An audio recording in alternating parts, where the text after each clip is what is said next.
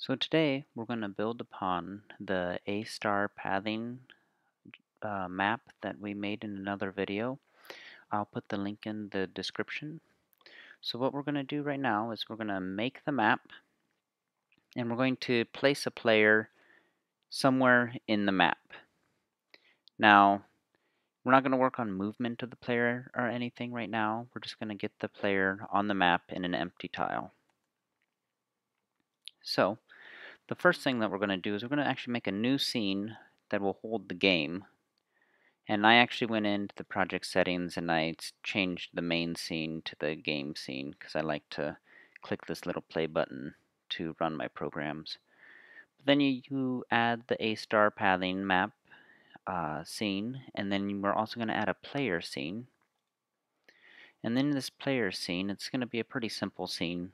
Just a kinematic body with a sprite a collision shape so the kinematic body doesn't complain. And then a 2D camera that I'm going to also set to the current camera. That way we don't have to play Where's Waldo every time we run the program to see if the player ended up in the right spot. And we're also going to add the player to the player group. And we'll look into why we do that here in just a second. So in the a-star pathing script, we added just a few things, not a ton, but we're going to add a signal that says when the map is ready, and we're going to add an array to keep track of the open spaces on the map.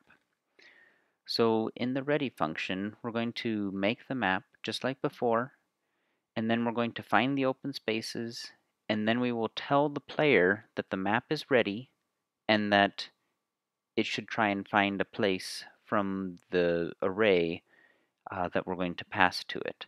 Now the reason why I'm doing this is I don't want the player to try and find a spot before the map is done. I want to make sure the map is finished and then the player is going to try and find a spot. Now it can be kind of tricky when you look at the game scene that the A-star pathing node and the player node are siblings and sometimes when siblings try and talk to siblings, it's tough to set up the connections between them.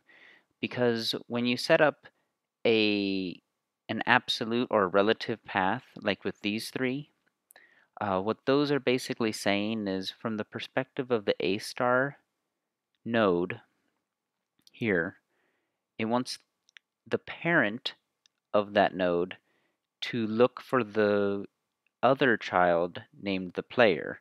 And it works in this instance. So, I mean, it's go up one level and then find the player node.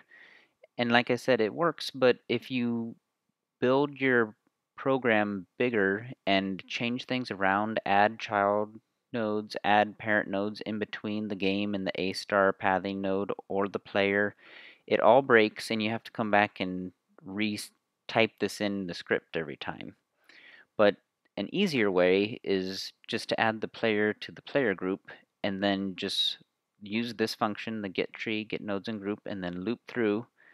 Uh, the reason why I use this one opposed to just getting a single one uh, is we're going to, I just like using the same code for when we are going to have multiple players or if we're going to have multiple enemies, we're going to use the same code, uh, just a different group to place them again for enemies or items and what this is going to do is we're going to use a signal and what this is saying is when we call the map ready signal we want to connect it to this will be the player node through this array that we get um, from the get tree get nodes in tree and we want the player to use the function reset position so if we look in the player script, it only has one function, which is reset the position.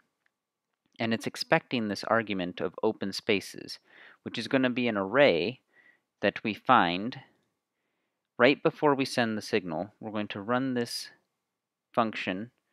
Uh, we're going to clear out the array. That way if we run the map multiple times that we don't get uh, old spaces. Uh, we want to always have fresh array. And we're going to loop through every cell in the map. We're going to get cell and see if it's a floor. And then if it is a floor, we'll append it. Now we have to remember that when you get cell, it's going to get the cell number and not necessarily the position that we want. So when we go to the player, when we apply the position, we're going to multiply it by the tile size to get the player into the right spot. Uh, and this is just picking a random number from the size of the array that's passed to it. So I guess one more thing is when you send or when you emit a signal, you can pass extra arguments along with the signal uh, that will be put into the function.